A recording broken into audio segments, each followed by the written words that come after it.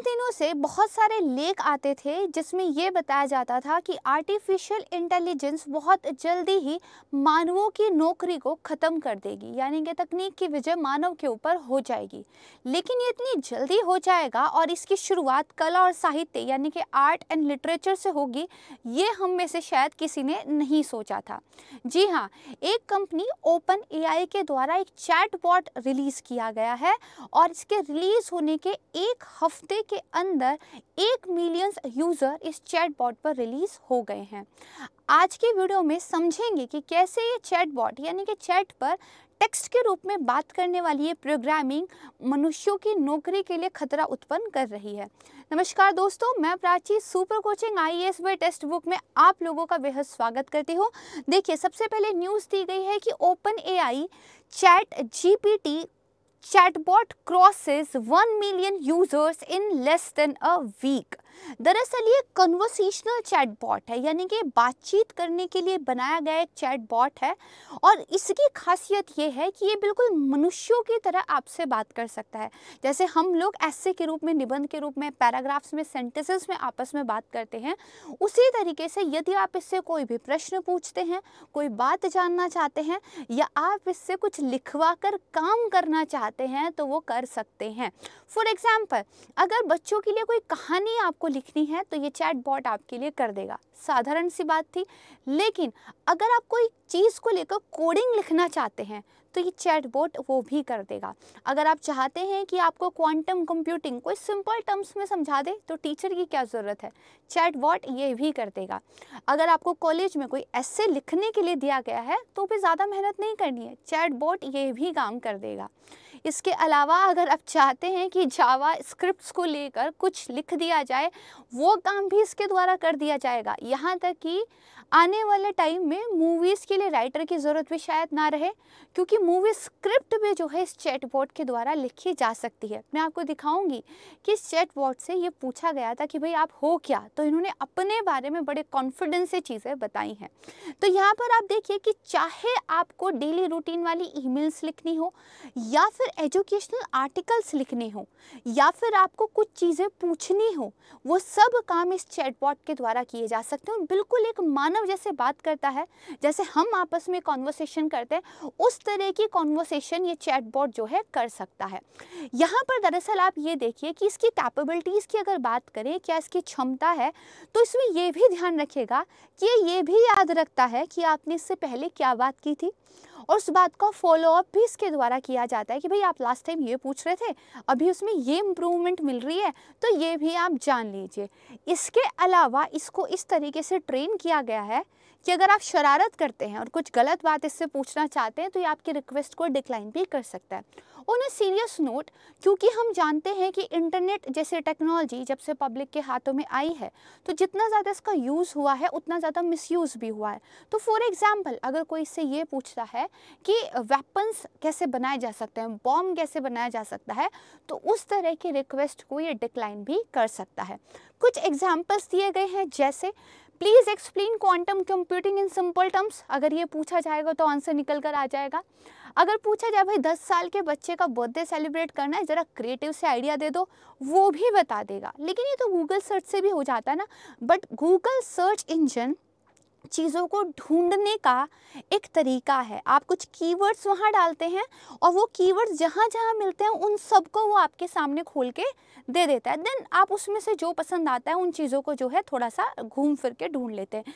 यहाँ पर आपको एक रिस्पॉन्स बहुत बढ़िया फिट फिटन जो है मिल जाएगा। जैसे फॉर एग्ज़ाम्पल इससे पूछा गया था कि जो पार्लियामेंट्री डेमोक्रेसी है वो जो अदर फॉर्म ऑफ़ गवर्नमेंट्स हैं, उस सिस्टम से बेहतर कैसे है? यानी कि भाई संसदीय जो एक लोकतंत्र है, वो बाकी तरीक़ों से कैसे बेटर है? तो आप यहाँ देखेंगे कि उसने पूरा ऐसे के रूप में यहाँ आंसर लिख के दे दिया है। सर्च इंजन की तरह आपको दस आर्टिकल्स नहीं पढ़ने हैं और उसमें से एक बेस्ट आर्टिकल चूज़ नहीं करना है। उसने आपके लिए आंसर जो है लिख दिया है। तो उम्मीद आने वाले समय में मेंस आंसर राइटिंग भी आसान हो जाएगी। खैर, इस मॉडल को बनाया कैसे गया है? देखिए, जो लैंग्वेज प्रोसेसिंग मॉडल होते हैं कंप्यूटर के, उन सब की मदद से मशीन लर्निंग जिसके अंदर भी डीप लर्निंग इन सबको आप कह सकते हैं मिलाकर इस प्रोग्राम को तैयार किया गया है। यहाँ पर इस प्रोग्राम के अंदर बहुत सारा टेक्स्ट जो कि इंटरनेट से उठाया हुआ है, किताबों से लिया हुआ है विकीपीडिया से लिया हुआ है आर्टिकल से लिया है, वो इसके अंदर जो है फ़ीड किया गया है। आपको यकीन नहीं होगा कि एक वूपिंग 570 जीबी का डाटा जो है, जो किताबों से, वेब के टेक्स्ट से, विकीपीडिया से, आर्टिकल से या इंटरनेट पर राइटिंग के कुछ और पेसेस थे, उनसे लेकर जो है, इसके अंदर क्या किया गया है? फ़ीड किया गया है। या आप ये कहेंगे कि इस मॉडल को ट्रेन किया गया है, ये सारा जो डाटाबेस उठाया गया था। अब ये ट्रेनिंग में कैसे हुई है, इसको भी थोड़ा सा देशी भाषा में समझने का प्रयास करेंगे। यहाँ पर देखिए 300 बिलियन वर्ड्स फ़ीड किए गए हैं इसके सिस्टम में। जैसे मान लीजिए, इस चैटबॉट से अगर ये पूछा गया, कुछ एक आर्टिफिशियल जो इंजीनियर्स थे, उनको जो है काम पर लगाया गया था कि भाई, पेड़ की जो लकड़ी होती है, उसका रंग कैसा होता है? अगर उसने उत्तर सही दिया तो फिर इंजीनियर्स के द्वारा फ़ीड किया जाता है कि ये रिस्पॉन्स सही था। अगर उत्तर गलत दिया जाता है तो ना सिर्फ़ इसको सही उत्तर बताया भी जाता है, बल्कि कौन सा उत्तर कितना ज़्यादा सही है, उसको प्रायोरिटी के बेस पर रैंक करने के लिए भी ट्रेनिंग दी जाती है।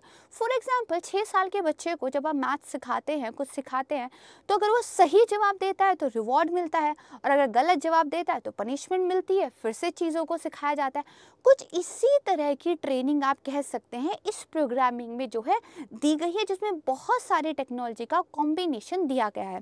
इस चैटबॉट की सबसे बड़ी खासियत यह है कि ये मानव की भाषा को बहुत बेहतरीन तरीके से समझता है।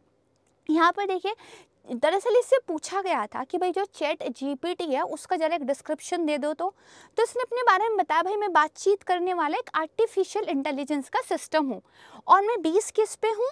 तो दरअसल एक लैंग्वेज मॉडल है, जिसको बोलते हैं जीपीटी इसका फुल फॉर्म है generative pre trained transformer generative pre trained transformers में जो वर्ड है प्री ट्रेन इसको ध्यान रखिए कि पहले से दी गई ट्रेनिंग के बेस पर चीज़ें जो है अब जनरेट हो रही हैं। ठीक है? इसमें बताएगा कि भाई जो एक नेचुरल लैंग्वेज होती है ना, प्राकृतिक भाषा में जो बातचीत होती है, वो मैं कर सकता हूँ यूज़र्स के साथ। ठीक है? और यहाँ पर बेसिकली जो चैट जीपीटी है ये दरअसल दूसरे चैटबॉट के कंपैरिजन में इसलिए बेहतर है। ये लगातार अपने आप को सीखता है, लगातार अपने आप में इम्प्रूव करता है एंड उसके अकॉर्डिंग ये अपने रिस्पॉन्स भी जो है बदलता रहता है। ज़्यादा डायनामिक है और कन्वर्सेशन को वेरिड तरीके से जो है ले जा सकता है। क्योंकि जो powerful G P T three model है, उस पर ये बेस्ड है। एक नॉलेज बेस जो है इसके अंदर फ़ीड किया गया है, वो भी वाइड रेंज ऑफ़ टॉपिक्स पर किया गया है। ठीक है, अब देखिए हमने बात की जी पी टी थ्री की तो जनरेटिव प्री ट्रेन ट्रांसफॉर्मर ये क्या है? ये भी सेम कंपनी जिसने ये चैटबॉट बनाया है, इनके द्वारा विकसित इंटरनेट का अत्याधुनिक भाषा प्रसंस्करण आर्टिफिशियल इंटेलिजेंस एक मॉडल है। भाषा का प्रसंस्करण क्या होता है? सामने वाले ने आपको कुछ कहा है तो उसको आप अपने दिमाग में प्रोसेस करते हैं दिन चीज़ों को समझते हैं। तो एक मॉडल ऐसा बनाया गया है जो मानवों की भाषा को समझे। उस मॉडल को बहुत सारे टेक्स्ट वगैरह दिए गए हैं वर्ड्स दिए गए हैं उस वर्ड्स को वो समझ के प्रोसेस करके उस हिसाब से आपको रिस्पॉन्स करता है और ये चैट बॉट इसी के ऊपर बेस्ड है। तो मानव समान पाठ उत्पन्न करने में ये सक्षम है। इसीलिए इसने खुद को क्या कहा कि भाई मैं एक भाषा प्रसंस्करण एआई मॉडल हूँ, ठीक है? सीधा सा मतलब कि मैं एक ऐसी प्रोग्रामिंग हूँ कंप्यूटर लैंग्वेज में कहते हैं ना प्रोग्रामिंग मैं एक ऐसी प्रोग्रामिंग हूँ जो मानव भाषा को भाई समझती है। ठीक है? देखिए, यहाँ पे कोई वीडियो, कोई ध्वनि या कोई चित्र, कोई इमेज ये जनरेट नहीं होती, बल्कि बोले जाने वाले और लिखने जाने वाले शब्दों की गहरी समझ इसके पास है। हम कहते हैं ना, कई बार एक फैंटेसी होती है, यार, अगर जानवर बोला करते तो कितना अच्छा होता। मशीनें बोलना सीख गई हैं। तो बोलना, भाषा को समझना बेहद महत्वपूर्ण हो जाता है, क्योंकि इस दुनिया के बारे में हमारी जितनी भी समझ है, वो भाषा के ज़रिए ही आई है। सही बात है? तो उसके बाद देखिए, जैसे अगर मुझे कहा जाए कि क्वांटम जो मैकेनिक्स है, उसके ऊपर कोई आर्टिकल ज़रा लिख के दिखाइए तो मैं घंटों लगा दूँगी या हो सकता है बहुत दिन लगा दूँ पहले आर्टिकल्स को सर्च करने में, पढ़ने में देन एक आर्टिकल लिखने में। यहाँ तक कि क्वांटम मैकेनिक्स से रिलेटेड भी, अगर कोई रिसर्चर भी है, उसको भी आप कहेंगे तो एक क्वालिटी पेपर प्रोड्यूस करने में उसको भी घंटे या दिन लग सकते हैं। लेकिन ये जो चैट है, ये एक अच्छी तरह का लिखा हुआ ऑल्टरनेटिव सेकंड्स में जनरेट कर सकता है। ये यूएसपी है दरअसल इस चैट बॉट की। अब यहाँ पर ये देखिए, मैंने आपको बताया तकनीक क्यों अलग है? क्योंकि सीखना जारी रखता है।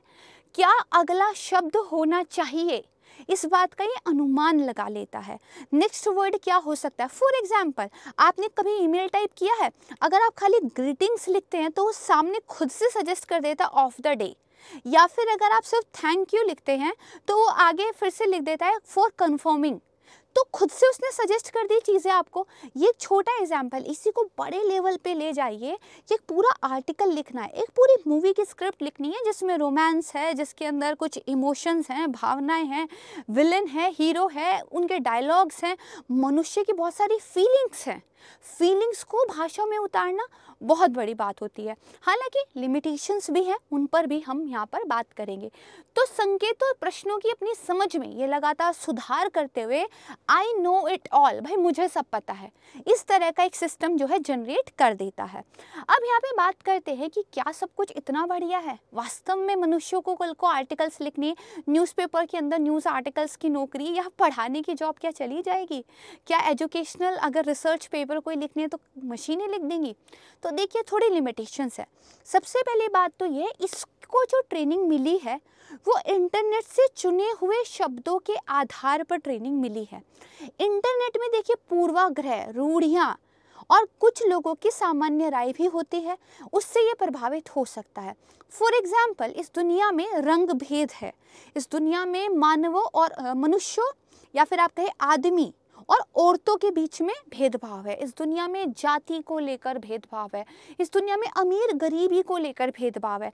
इंटरनेट पर इस तरह की सामग्री भरी पड़ी है, जो इन भेदभावों को, इन पूर्वाग्रहों को स्थापित करती है। अगर इसी तरह के डाटा से आपने किसी मशीन की प्रोग्रामिंग की है, किसी चैटबोर्ड को बनाया है तो उसके अंदर भी पूर्वाग्रह होने की पूरी संभावनाएँ हैं।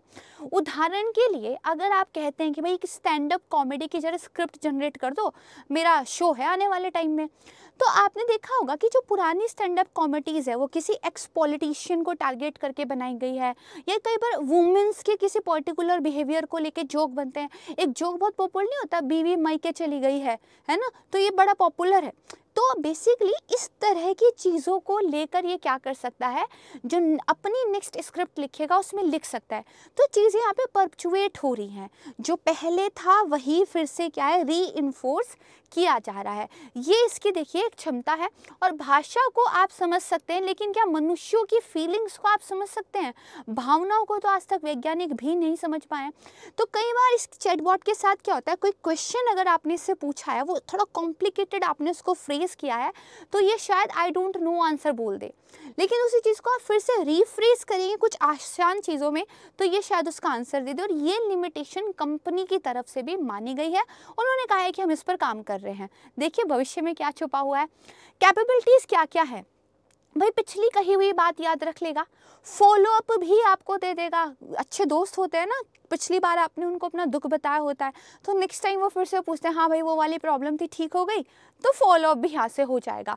गलत रिक्वेस्ट अगर हुई है तो डिक्लाइन हो जाएगी। जैसे अगर आप किसी, ये पूछते हैं, यार, मैं किसी को मैन्यूपलेट कैसे कर सकता हूँ? तो रिक्वेस्ट डिक्लाइन हो सकती है। लेकिन लिमिटेशंस क्या है? कई बार इनकरेक्ट इन्फॉर्मेशन जनरेट हो सकती है। कैसे? मैं बताऊँगी आपको। कई बार क्या है, ये हार्मफुल इंस्ट्रक्शन या फिर बाइस्ड कंटेंट आपको दे सकता है। जैसे आपने किसी चीज़ को कैसे करना है ये पूछा और उसको लेकर इंटरनेट पर काफ़ी ज़्यादा आर्टिकल्स ऐसे पड़े हुए थे जो नहीं ठीक थे। लेकिन प्रोग्रामिंग को नहीं पता है कि व्हाट इज़ राइट और wrong in terms of ethics right? तो ये यहाँ पे प्रॉब्लम है। दूसरा क्या है, इस चैटबॉट की जो नॉलेज है ना, दुनिया में 2021 से पहले जो इवेंट हुए थे, वहीं तक लिमिटेड है। इसके अलावा 2021 तक भी बहुत सारे टॉपिक्स ऐसे थे, जिन पर बहुत सारी चीज़ें भी डेवलप हो रही थी। अभी बहुत सारी चीज़ें उन पर बननी बाकी थी। आधी अधूरी नॉलेज और आधी अधूरे काम पर हम चल रहे थे। तो इसकी नॉलेज वहीं तक लिमिटेड है। क्योंकि उससे पहले का डाटा आपने दिया, देखिए मशीन को आपने जो दिया, उसी के आधार पर मशीन काम करती है। तो यहाँ पर आप देखिए, अगेन हम बात करते हैं, बहुत सारी फेक न्यूज़ आपको मिल, मिलेंगे इंटरनेट पर। बहुत सारे ऐसे आर्टिकल्स मिलेंगे जो गलत चीज़ों को सत्यापित करने की बात करते हैं। जैसे कुछ लोग कहते हैं, धरती गोल नहीं है, और वास्तव में कई लोग इस पर बिलीव भी करते हैं। तो मशीन इस तरह के गलत डाटा से इतना सीख ले। ठीक है। दूसरा क्या है? बाइसेस हैं। जैसे वुमेंस अच्छी लीडर नहीं हो सकती। वुमेन्स अच्छी ड्राइवर नहीं हो सकती। तो ये जो बाइसेस है, ये जो पूर्वाग्रह हैं, इनसे मशीन कैसे बचेगी? इसके अलावा यहाँ पर एक अच्छी बात है कि अगर आपने कुछ गलत पूछा है तो मशीन के द्वारा डिक्लाइन किया जा सकता है। मशीन नहीं चैटबॉट कहना इज़ अ राइट थिंग लेकिन कई बार गलत इन्फॉर्मेशन और गलत इंस्ट्रक्शन मिल भी सकते हैं। तो आने वाले समय में आर्टिफिशियल इंटेलिजेंस मनुष्यों की नौकरी को छीनती है। या फिर मनुष्यों की नौकरी में बढ़ावा देती है, बस उनको रीस्किल करने की ज़रूरत है। ये समय बताएगा, यहाँ पर एक बहुत बज जो क्रिएट हो रहा था कि चैट बोट ये क्या है? मुझे उम्मीद है आपको समझ में आ गया होगा। इस तरह की टेक्नोलॉजी अगर कभी भी बहुत ज़्यादा न्यूज़ में रहती है तो यूपीएससी में प्रश्न ज़रूर बन जाता है। वीडियो अगर पसंद आया है तो प्लीज़ वीडियो को लाइक कीजिएगा, वीडियो को ज़्यादा से ज़्यादा शेयर कीजिए और कमेंट सेक्शन में अपना फीडबैक ज़रूर दीजिएगा। बने रहिए super coaching I S text book के साथ। नमस्कार। जय हिंद